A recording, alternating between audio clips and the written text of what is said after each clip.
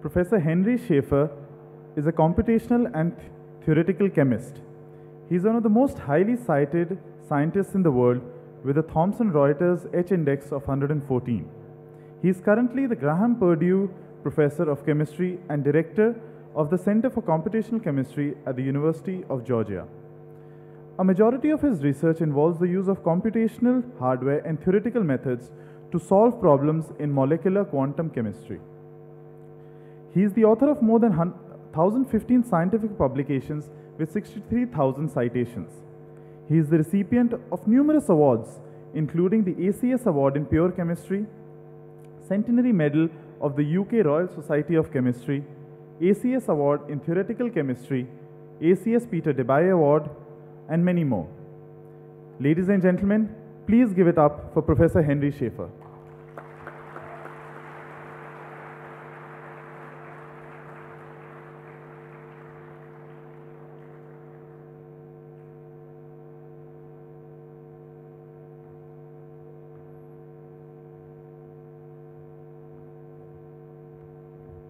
Good evening. I'm uh, very appreciative of the invitation to be here for Techkriti.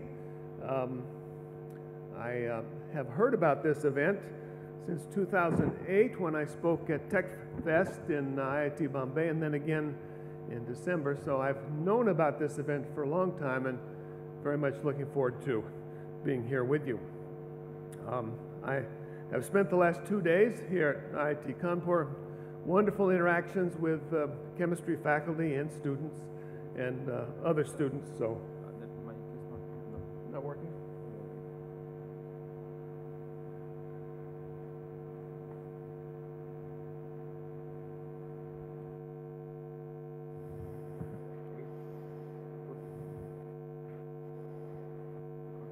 Okay. Oh, it's louder. Now it's loud. Okay. All right. So I've only been here once before, 14 years ago. That was uh, an interesting uh, visit here because a few years after that, one of your professors, Professor Monagaran, in the chemistry department, received a Fulbright grant to come and work in my laboratory. So let's uh, begin with the life of a scientist. It is challenging to come after the previous um, event. Uh, I'll, I'll do my best. Um, this is where we work, the Center for Computational Quantum Chemistry at uh, the University of Georgia.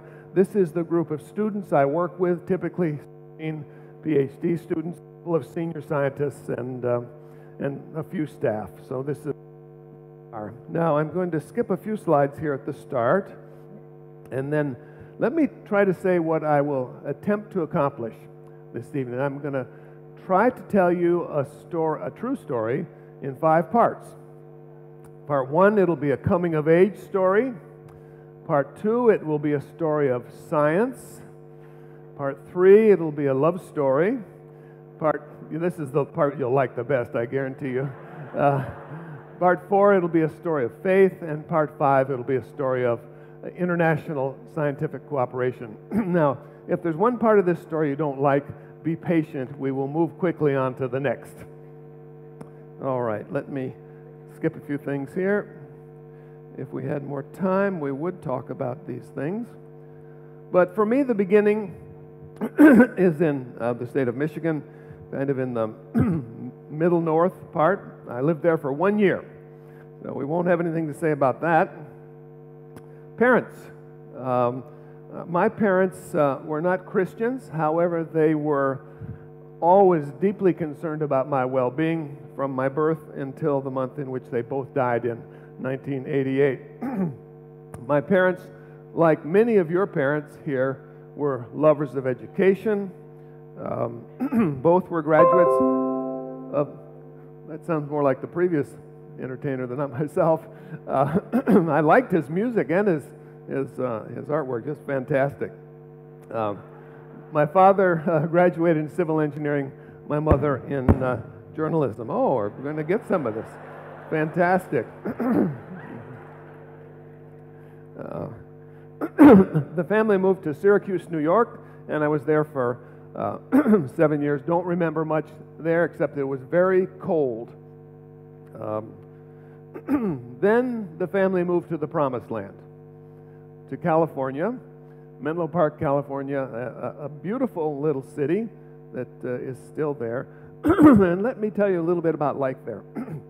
Life in Men- Menlo Park. My family lived only two miles from Stanford University, and uh, it was um, it was just a wonderful place to be. Uh, thousands and thousands and thousands of acres of open land in which a, a young boy could just wander with his friends and and enjoy uh, nature. Uh, I think uh, Stanford is perhaps the most beautiful university campus on the world, but IIT Kanpur is not far behind. I will come back to Stanford in, uh, in nine years. and um, before I moved uh, to Michigan, uh, I'd not given much thought to deep questions such as these. And these are questions that all of you have thought about at least a little bit. First, is there anything beyond the universe we know? Second, is there a purpose to the universe? Third, um, perhaps more important for us, is there a purpose to human life? And another question all of you have asked Does God uh, exist? and um, another one yet What's coming next? And uh, so these are all questions that you've asked yourselves and, and come to uh, a variety of different uh, conclusions. Back to Michigan, Grand Rapids, Michigan, uh, where I went to high school, and uh, it, was, um, it was good. You need to know that I am a nerd.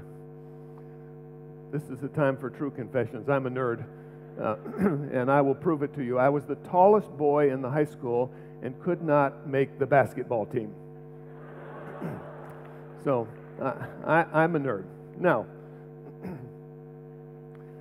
a long time ago, I was minding my business in study hall. Study hall in America is a place where they put the students when they're not listening to lectures.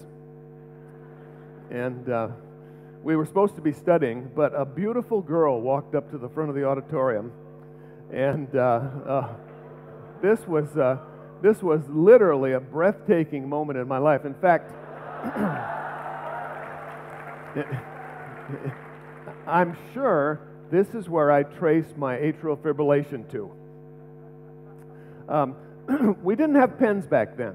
we had pencils, and the only place you could sharpen your pencil in the study hall was right in front of everybody on the stage. And she walked up there, and, and I said to me, Boy, it's really bad being a nerd. because nerds are not um, very attractive to beautiful uh, young women um, searching for truth. I'm, I'm uh, at age 17 now, I'm, I'm in Michigan in high school, start to think seriously about ultimate questions. Uh, it was a search that led 11 years later to my becoming a Christian. And at age 17, I began to read the Bible. This is a book I had never read and was completely unfamiliar with. I did it for two reasons. First, I wanted to be educated. I knew the Bible to be the most widely quoted book in the world. And second, Jesus seemed to be unlike any person that I'd ever met or read about. University choices. Uh, my father was a civil engineer. He wanted me to be an engineer and uh, wanted me to go to Stanford University or or MIT. MIT, uh, the greatest nerd school in North America. and uh, he, he really favored MIT, so I went there. Went to MIT, and uh, there we are. so I've traveled a bit of the country now. I'm in the east in uh, Cambridge, Massachusetts, right next to Boston. And um, the MIT campus is remarkably ugly. Professor Nicolaou has been there in the front row, and he'll speak to you tomorrow, and he will agree with me. The MIT campus is really ugly. The main building is um, almost a kilometer long, and it looks much more like a penitentiary than a university building. And the new buildings are even worse.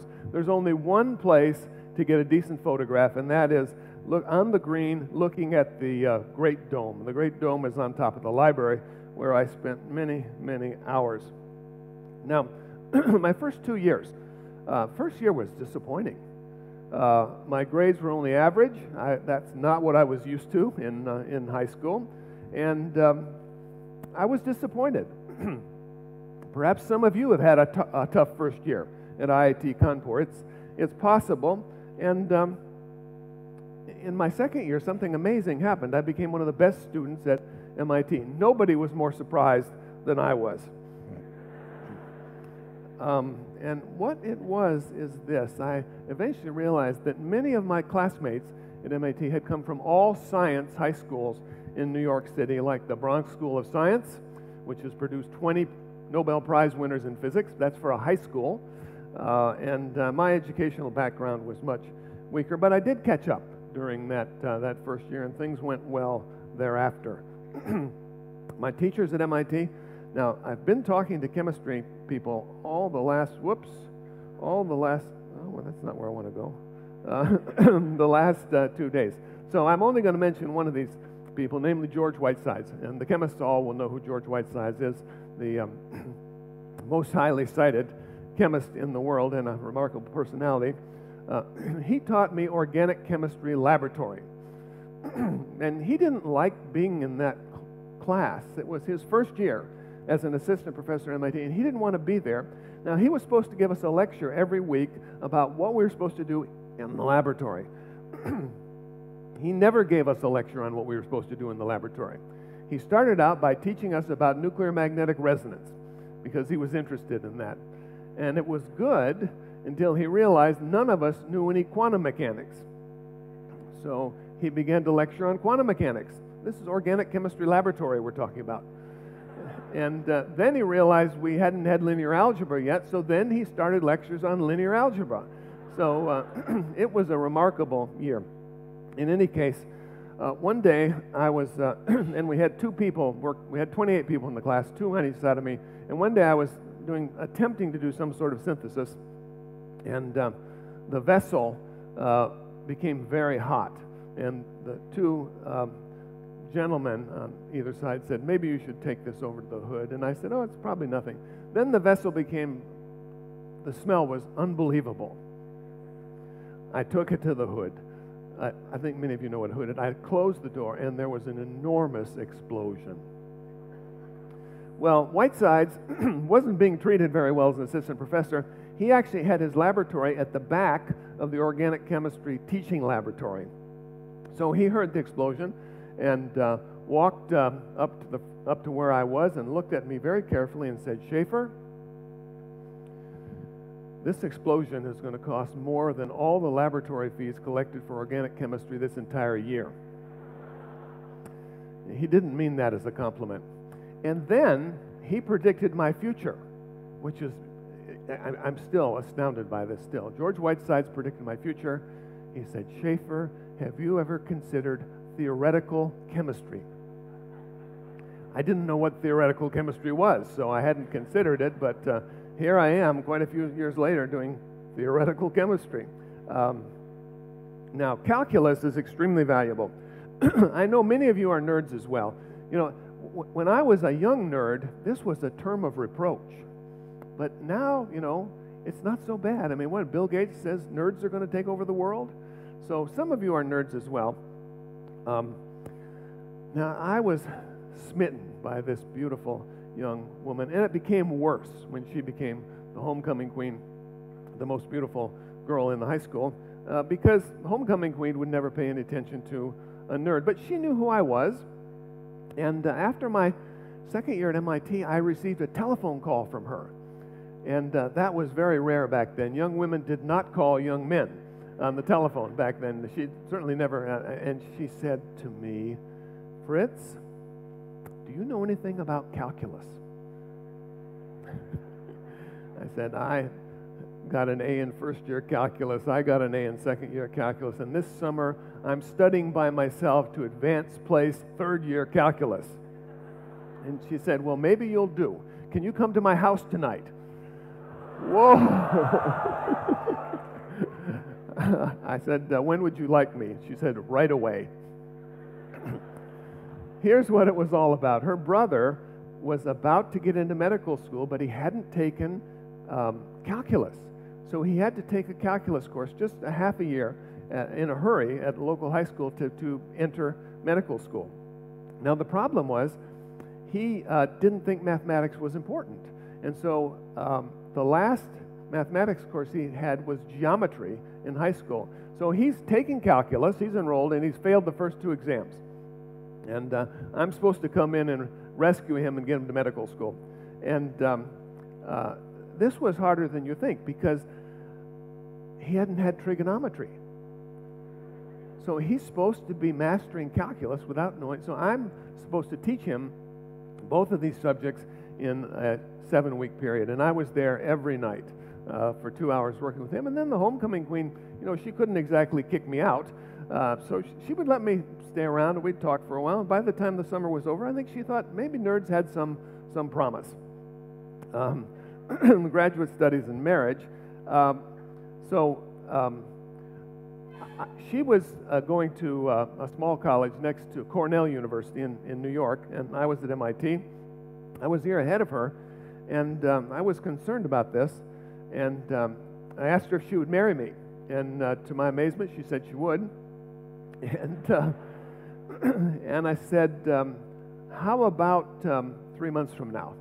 Now, this was not good because she had, she had not only finished three years. And she said, Well, I think my father would allow it if I can go to some other good university. Now, at this point, I'm trying to decide where to go to graduate school. I'm choosing Caltech, the second best nerd school in the U.S., and, uh, and Stanford for my PhD. And initially, I chose Caltech. I knew the person I wanted to work for, who later become, became one of my closest competitors. Uh, close, but um, then, as the homecoming queen said she'd marry me, her major was art history. She was not a nerd. Uh, she was not a nerd. Um, Caltech did not only did not have an art history major, they did not even have one single course in art history. And I was puzzling about this, but you know, nerds are intelligent. And uh, the person that was recruiting me at Stanford called me up on the phone and said, Why haven't we received your acceptance yet? We've offered you a very special fellowship, and, and you should be coming. And I'd communicated with this person before, Frank Harris before. And I said, Well, I actually accepted Caltech. I said, But I've got a problem. And I told him the story. And uh, she, he said, She's a student of art history. And I said, She is. And uh, he said to me, Is she smart? I said, She's much smarter than I am. A true statement. And he, he said, Frank Harris said to me, Stanford University has a wonderful program in art history. And I said, Okay, how's that going to help me? And he said, Well, send me her transcript and uh, we'll see what we can do. Now, it took a week to get a letter across the country back then, and uh, I got her transcript. He didn't need an official copy, and uh, three weeks later, she was accepted for her senior year's uh, studies at, uh, at Stanford University. Yeah, it's good. So there she is, and um, every nerd should have a wife this beautiful. and uh, yeah, so I've told you uh, this. If you don't know what the homecoming queen is, I gave this talk two months ago in uh, Montevideo, Uruguay, and they said best translation is princess. so here we are coming out of the church, and my bride looks beautiful and radiant, and uh, I look like a nerd. and, uh, you know, this wedding was not entirely well greeted by the community. Grand Rapids, a city of about 250,000. And some would ask her, Why are you marrying a nerd? And some people ask me, Why did she ever agree to marry you? So she's radiant, and I'm thinking about this situation. We're coming out of the marriage, and I'm saying, I'm going to take her away from this town and never come back. And in fact, we immediately left for California and uh, stayed there for 21 years. so here I am at Stanford for. Uh, graduate school, and uh, uh, this is the uh, some of you have, some of you your professors have been there. There's a big long road that leads up to Stanford, the perfect view of the most prominent architectural feature of the university. This is uh, this um, mural, famous mural of Jesus Christ with his closest friends. Teachers at Stanford, again, if this were in chemistry, I would tell you all about these people, but I won't, or I'll run out of time. Um, my boss, Frank Harris, moved to the University of Utah after my second year, and I needed to study, get out of there in a hurry. He wanted me to go to um, the University of Utah with him and finish up there, but uh, the homecoming queen was not enthused about that at all. uh, as she had begun a, a teaching career and was doing quite well. So I stayed at Stanford and finished up in a hurry. Now, here's an eventful day in my life. Um, my wife and I attended a church at a small church right across the road from Stanford University, this, right across from SLAC, the Stanford Linear Accelerator, and um, heard a message by an Englishman, obviously a very intelligent person, named John Burns. He opened his speech with words that have deeply influenced me, namely, the Christian faith is not true if Jesus Christ did not rise physically from the dead. I was curious about that, so I, I waited after it was over and went and asked him about this. And I said, uh, uh, I really liked your first sentence. Do you think it's true? And uh, he said, Yeah, I think it's true. Do you think it's true? And I said, No, I've never thought about it before. And he, he uh, gave me a bunch of things to, uh, to read, very few of which I read. So I'm still searching for things. Uh, I did begin to read extensively about the historical evidence for the resurrection of Jesus Christ, but it'd still be four more years before I received Jesus Christ as my Savior and Lord. Now, here I am at uh, Stanford, and uh, started my third year. I interviewed for faculty positions at uh, three places MIT, which I still have a warm spot for, University of California at Berkeley, and at Harvard University. And I uh, got a wonderful offer from, uh, from Berkeley, uh, which we could talk about. Um, was it the most outstanding chemistry department in the world at the time? It, it's very close to number one now. We could argue whether it's MIT or Caltech or uh, Berkeley, but it's one of those. And I accepted this job at age 24. And, uh, and I became the youngest professor on the Berkeley campus. Now, the person I replaced is a person who became very, very famous. In fact, this person is said to have been the youngest person ever to become a regular professor, assistant professor at uh, the University of California at Berkeley. This person became very famous. Now, he was a mathematics professor, and he left um, about um, two months before I got there. The students didn't like him. They said his lectures were no good, and uh, he didn't much care for the students either. Uh, the faculty wanted him to stay, the math faculty wanted him to stay, but he left. And uh, wasn't really heard of for, um, well, 18 years. And then he took up an interesting hobby. He would um, send letters to very famous nerds, very famous technologists, and they would open the letters and they would explode, and three famous technology professors were killed, and some 25 others were uh, wounded. So he became very famous. Ted Kaczynski was his name, and he became later known as the Unabomber. Now, here he is as an assistant professor. He looks pretty normal. He looks pretty normal. Now, here he is when he got arrested, uh, looking a little bit different. so he, his life had quite a transformation to it, as, as mine did, but in a different, uh, different direction. He, um, uh, as all these excuse me, murders were going on, he wrote to the New York Times and said, If you'll print my life story, I'll stop killing these people. And, and they did print his life story in a very prominent place.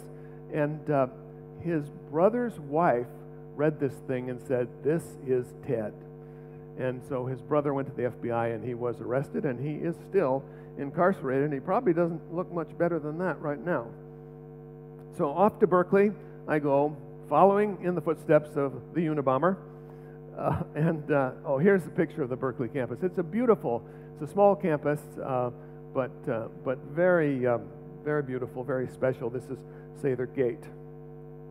Um, now, I want to say a little bit about chemistry. I, have said this was a story of chemistry, so I want to note the um, 1971 Nobel Prize in Chemistry by Gerhard Herzberg, and I need to read the citation. This is what the Nobel Prize Committee had to say about Herzberg's work. His main contributions are to the field of atomic and molecular spectroscopy. He and his associates have determined the structures of a large number of diatomic and polyatomic molecules, including the structures of many free radicals difficult to determine in any other way, among others, those of free methyl, CH3, and free methylene, CH2. So, this is the beginning of my most important paper. It was published during my first, first year at Berkeley with a with a dear friend, Charles Bender, who's no longer living. He was uh, working for a computing company, and that gave us a lot of computer time. And uh, the title new theoretical evidence for the nonlinearity of the triplet ground state of methylene. And if you're a chemist, you'll know that the Journal of the American Chemical Society is a good journal. What was different about this paper? Uh, here's a statement by Peter Gaspar, who's still living and scientific collaborator of mine at Washington University in St. Louis, and by George Hammond, who's no longer with us, but was a pioneer in photochemistry. They wrote this five years after this paper we published. They said in 70, Bender and Schaefer reported by far the most elaborate calculation carried out to date that date on methylene or indeed most any other molecule. So my thesis and, and Bender's thesis as well were based on developing new methods for solving Schrodinger's equation, and um, this is perhaps the first uh, success along those lines. Um, and this is what it's all about. Herzberg, uh, the work for which he received the Nobel Prize, uh, found from experiment, uh, ultraviolet uh, spectroscopy, that the methylene molecule is linear. That is, the hydrogen, the carbon, and the hydrogen fall on a line. Bender and I, uh, in 1970, predicted from theory, from quantum mechanics, applications of quantum mechanics, that the right bond angle is 135 degrees. And um, this was, and we said Herzberg's experiment, we didn't say it was wrong. This is, this is the godfather of modern spectroscopy, but we said the experiment had been misinterpreted, and we even were so bold as to say how it should have been interpreted. And this was foolhardy. Uh, for, for a, a, young person to make statements like this was, was just foolhardy. At that point, uh, on the Berkeley faculty, two out of three assistant professors, after um, four or five or six years, were asked to find employment elsewhere. They were denied tenure. And if I'd been wrong about this, uh, I certainly um, would not have gotten tenure at Berkeley, and I wouldn't be here at IIT Kanpur for sure. So, but later experiments quickly um, confirmed this, and, and, it was a good story. Uh, my friend Bill Goddard, who I intended to go to work for at Caltech before the homecoming queen decided to marry me, uh, wrote this, and this is now 15 years after, after the, the work uh, that we did on CH2. In, in an article he calls The Coming of Age of Quantitative Quantum Chemistry. He says, Everyone believed the CH2 molecule to be linear until theoretical studies finally led Bender and Schaefer to insist in 1970 that CH2 is bent by 135 degrees. Indirect experimental evidence for such highly bent CH2 came quickly. Let's go forward more. Uh, 22 years after this happened, when I'm getting the centenary medal from the Royal Society of Chemistry in London, they said this. They said Schaefer was the first theoretical chemist successfully to challenge the accepted conclusions of a distinguished experimental group for a polyatomic molecule, namely methylene. So if you, if you good, write one good paper in science, you can write it for a long time. So do at least one thing that's really good. Uh, finally convinced. Okay, so during my third year on the faculty at Berkeley, the historical evidence compelled me to accept the truth of the physical resurrection of Jesus Christ. I finally understood that the resurrection of Christ is one of the best attested facts in all of ancient history. Um, about a year later, I received Jesus Christ into my life, and a number of things uh, began to change. My life had a purpose, that purpose to know Jesus Christ and to make him known. Here's the Berkeley faculty in 1986. This is a wonderful photograph. How you get 50 nerds to smile at the same time. Uh, that, that really is, uh, is fantastic. Uh, now, the, no, nobody's going to see me, but I'm, uh, this picture is a little bit faint. Could we turn off the lights for just a second? Is that possible? Do we have that, uh, that capacity to turn off the lights? Uh, I'm uh, in this picture. I'm sitting next to somebody very famous. Okay, we're getting better, but can you try? Ah, there we are. Now, uh, yes, I look about the same, except uh, except I had a beard. Now, who's the famous person I'm sitting next to? I wonder if this works. It does. The famous, well, it did. Let's try again. Uh, yes, that's somebody famous. Okay, you can turn the lights back on. That's Glenn Seaborg. Uh, Glenn Seaborg was a good friend of mine at, uh, at Berkeley. I told a wonderful story about him in Bangalore two days ago.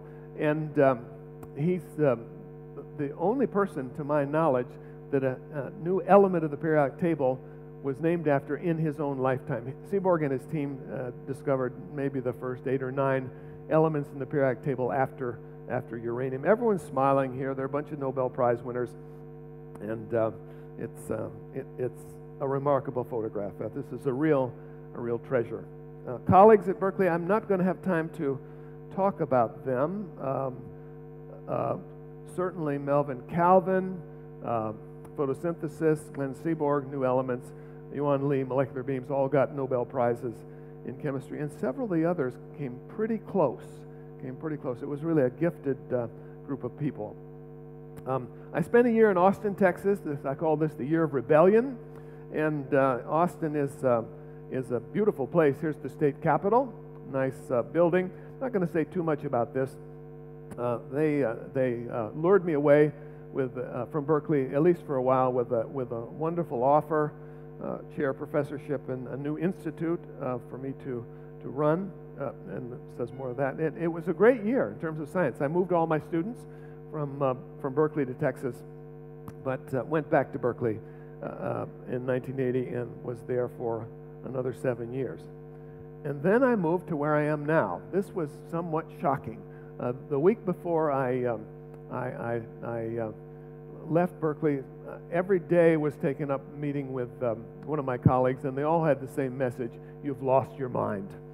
Uh, so I'm, I'm going from maybe the best chemistry department in the world to maybe the 30th best in the USA. It's a, it's a, it's a big change. Um, it's um, yeah, and this tells a little bit about that. I, I don't want to say more about that. Why did we do this? Well, uh, uh, they, the, Charlie Bender, this person that wrote my most important paper with me. Well, actually, I wrote it. Charlie did most of the work. Um, but um, he had moved to Georgia, and he kept calling me up saying, um, Come on down here. It's a great place. We'd love to have you here. And I said, Georgia? You mean in the American South? And he said, Yeah, we have electricity and running water here now. Uh, and uh, and uh, finally, I went and visited him. Let's see how I'm doing time wise. I'm not doing too bad. Uh, I went and visited him for a peculiar reason. My wife and I were invited to a wedding in Miami, Florida, uh, with two very close friends. And um, being a poor professor, we had no way to get there. So I called my friend Charlie Bender and said, Charlie, you've always wanted me to visit this, uh, this uh, uh, dubious university in the South, and uh, here's your chance. He said, Okay, what do I do? Charlie, you buy two tickets from San Francisco to Miami with a stopover in Athens, Georgia, and my wife and I will come and take a look at the place. So that's how it began. And these negotiations went on for a long time, but uh, a, a huge part of the reason we left was that my wife and I had four young children. The youngest was only nine months old at the time, and we wanted to move live in a quieter place than Berkeley, and believe me, Athens, Georgia is a quiet place. Here's a picture of it. There's one main street in Athens, Georgia. That's it. A wonderful uh, autumn picture. Um, almost European. Almost European. The students uh, sit outside in tables, and uh, it's, um, it, it's the quintessential what we call college town. That is to say, 37,000 students, 5,000 faculty and staff, and the population of the whole place is 150,000 people. So everything revolves around the university and its football team, which we'll mention later. Colleagues, um, Again, don't have too much time to talk, but Lou Allinger, Norman Allinger, the, the father of molecular mechanics, certainly moving to Georgia, he was a big part of that. Paul Schleyer, we lost um, a year and a half ago. I would say this is debatable, but um, I'd say the most outstanding physical organic chemistry of the last century. Bruce King, Wesleyan. I have, I don't have the number of great colleagues that I had at Berkeley, but I've got six or seven. Do I have Greg Robinson here? And Greg Robinson, maybe the greatest main group synthetic uh, chemist in, in the world. So it's a, it's a good place for me. Uh, collaborate with lots of the faculty members. Now, travel.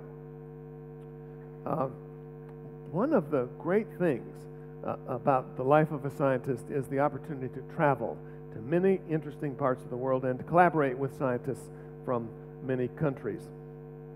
Many trips to Europe, more than 100. Uh, you know, it's easy to get to. It takes seven hours to fly from, uh, from Atlanta, Georgia to, uh, to Munich. And um, uh, nine summers in Switzerland. Won't say too much about that, except that my host there has been Professor Martin Quack, uh, distinguished spectroscopist. And uh, sometimes I've asked, what do you think is the most beautiful place in the world? And here's a candidate. This is a little village called, whoops, went too far. I want to show that beautiful village.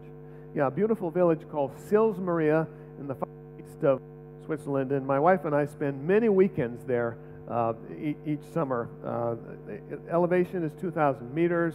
The peaks around it go up to 5,000 meters. The hiking is, is wonderful. It's just um, a great place to be. But my host at the ETH, Martin Quack, retired, and he was no longer able to bring me to, uh, to uh, Zurich. And so we moved on to Munich. Here's a picture of uh, Marienplatz in, uh, in Munich. It's a, it's a great city. And uh, for the last five summers, and this one as well, been fortunate to be part of the research group of Professor Christian Ochsenfeld in Munich at the Ludwig Maximilians University, LMU.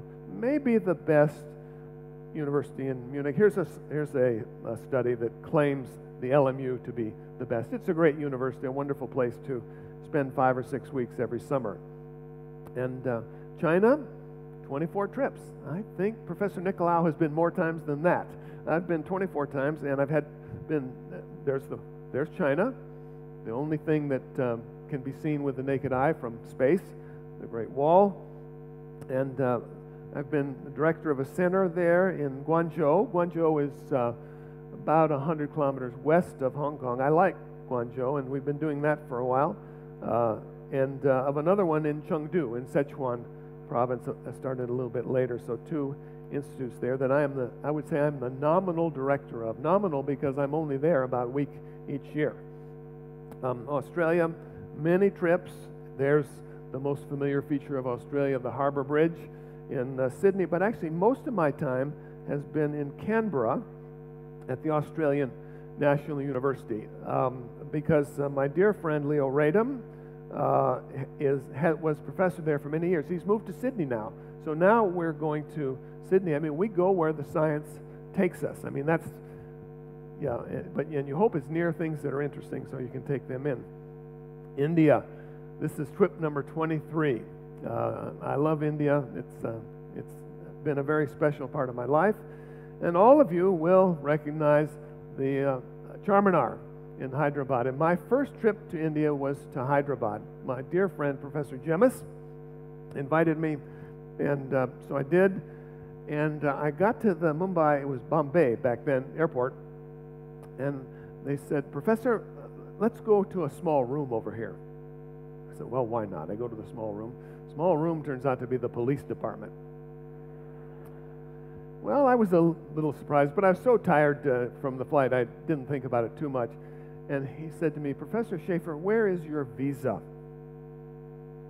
I said, Visa? The United States and India are the best of friends. Why would I need a visa? I don't think that was the right thing to say.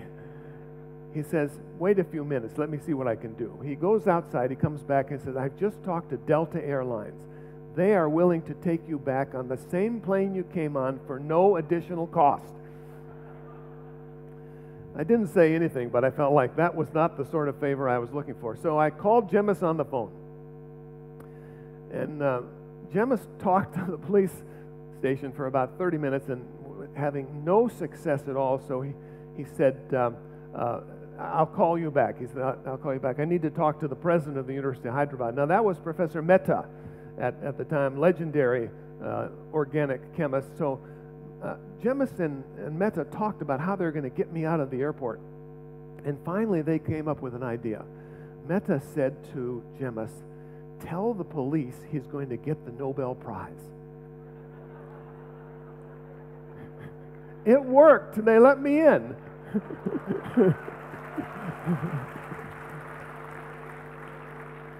Regrettably, 19 years later, there's still no Nobel Prize.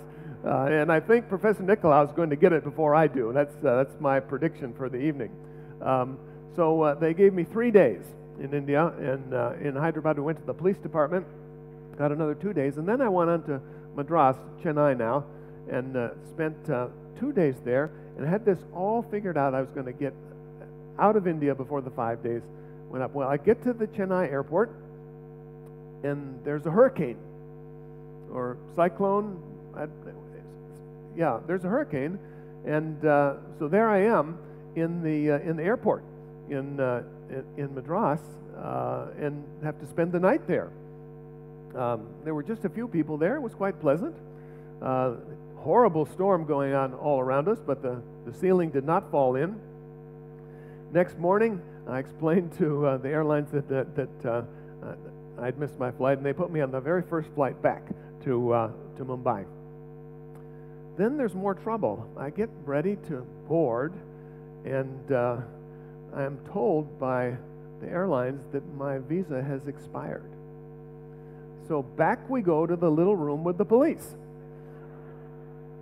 And they said to me, Professor Schaefer, we will let you leave if you promise never to return to India without a visa. And I said, That's a deal. Uh, okay, so uh, many collaborators in India. Jemmis, my first one, uh, Debashis Mukherjee, these are all great scientists. Uh, Saurabh Pal, uh, director for some years at National Chemical Laboratory, now in IIT Bombay, and um, Professor Sunoj, a younger man that we've published a lot of papers with in recent years, also at IIT uh, Bombay. Africa, only five times. Here's Table Mountain, uh, the University of Cape Town. Professor Kevin Naidoo has been my host there. Many trips to South America. This is a beautiful view of Santiago, Chile, that you can take this picture about three times a year because the Andes are about almost 100 kilometers away, and they show right up there in the, uh, in the brightest possible uh, color. Uh, so it's um, on a day like this, you, you really feel good being in, uh, in Santiago. Alejandro Toro-Labbé, uh, my host and co-worker, and, and, and other scientists. So this is a great deal. Being able to travel, meet new friends, develop new collaborations, it's, um, it's good.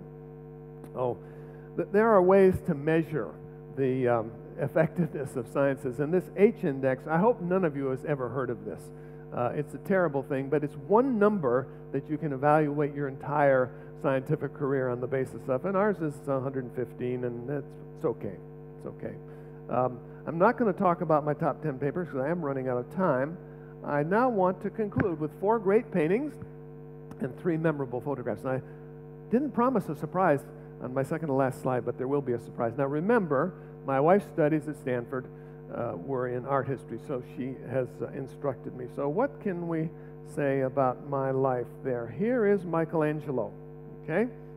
I'm labeling this one initiative, and this is uh, the creation in the Sistine Chapel. Many of you have been there. Uh, I can tell you it's more enjoyable to study the painting on a big screen like this than looking up at the ceiling and getting very dizzy. Um, so, uh, the creation, the, this offer uh, of, a, um, of a beautiful life goes out to all humankind, a life joyful in the presence and continuing uh, in heaven in eternity with God. Second one, now this is a horrible picture. This is Hieronymus Bosch. And uh, it's a very famous picture, and it, it shows every horrible thing that can happen in the world to human beings. It's, uh, it's called the Garden of Earthly Delights. There's nothing delightful that's going on in this, uh, in this, uh, in this picture. Uh, but he's trying to say that there is a Grand Canyon that, uh, that separates us from God. This, this canyon, this Grand Canyon, is, in a word, selfishness. Selfishness is probably the most recognizable uh, characteristic of, of the human race. And uh, all these atrocities pictured here are due to selfishness. Um, let's see what we have here. Oh, here's uh, Salvador Dali. I wanted to give you something right up to date. Well, 1951. That's for great art. That's and uh, this is his beautiful uh, portrait of the of the crucifixion. And I've labeled this one solution.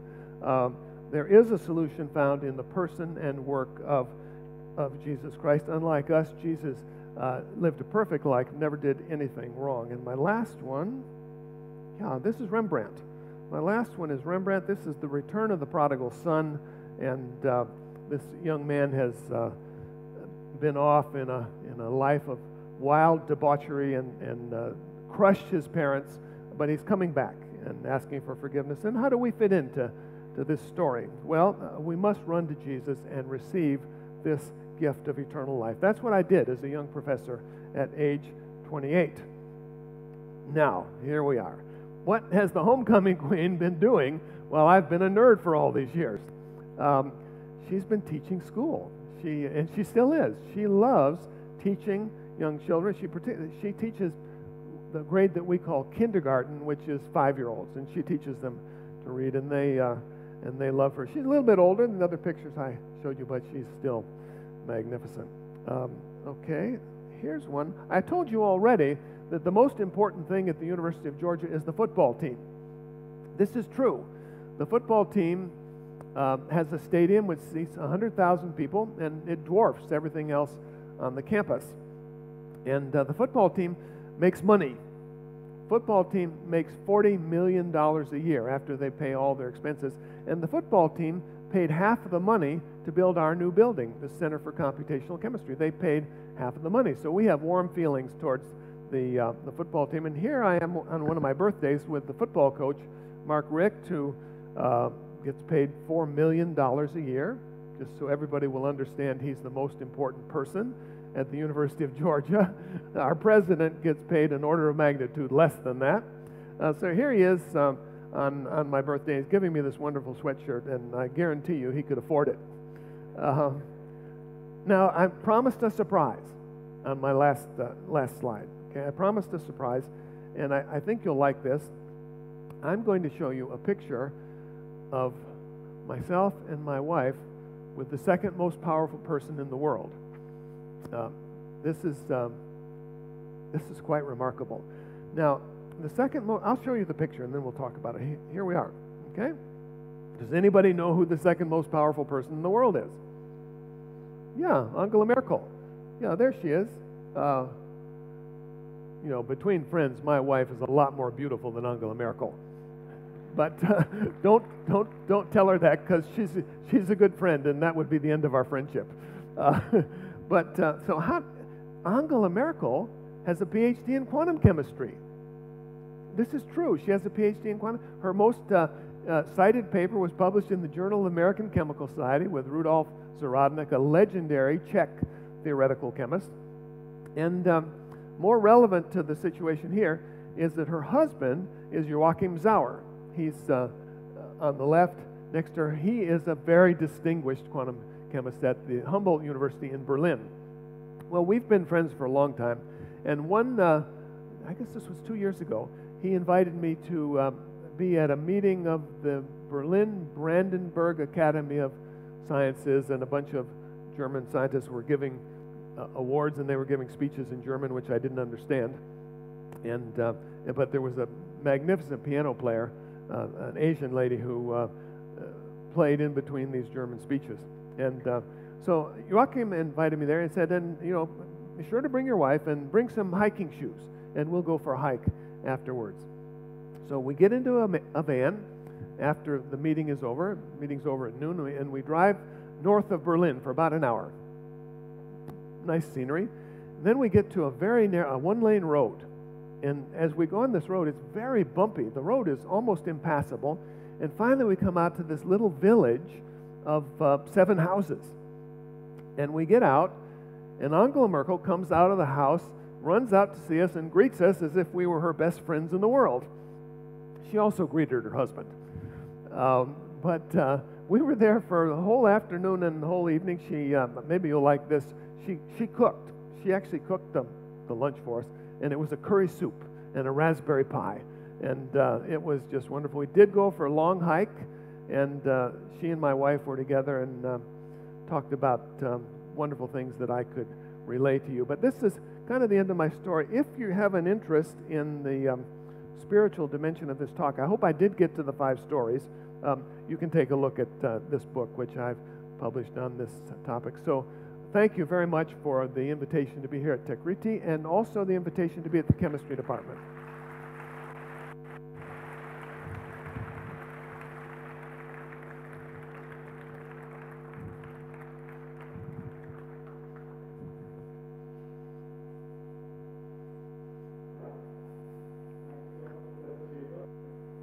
To be one of the most interesting biographies of a nerd that I have listened to ever. And I'm sure after listening to this talk, a lot of us will not shy away from calling ourselves nerds after this. Uh, I'd like Professor Manna to please present Professor Schaefer with a memento to express our gratitude.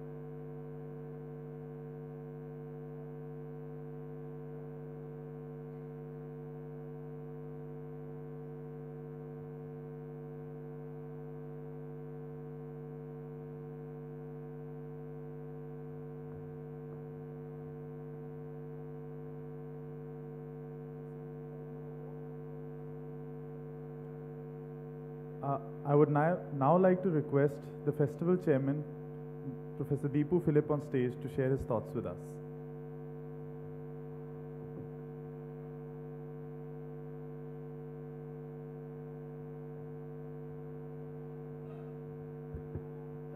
Good evening, everyone.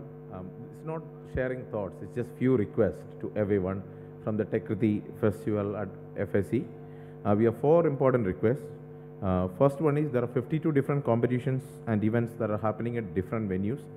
Uh, please look at the schedule and go through it and plan in advance uh, because there are a lot of parallel events. And the campus is pretty big, so it will take you a little bit more time than you expect to go from one venue to another. Second one, we also have an inter-IIT tech meet going to happen on 25th and 26th of this month, that's Saturday and Sunday. So please, uh, there'll be more people coming into the campus. So please be a little bit more accommodative and be more helpful. Third one is to please be cooperative of the organizing term, team. It's everyone festival, it's our community festival. So let's all work together. We already achieved quite a lot of things as part of this festival. Let's ensure that we see through as a great festival. And finally, um, we will all try to do a little bit more better time management from tomorrow onwards. I am the first one to actually not to do the time management very well. So we sincerely apologize for the time management and we will all try to do a better job tomorrow. And uh, also last but not the least, please enjoy Techkriti, be safe, be kind, keep learning and keep smiling. All of you are already winners. Thank you very much.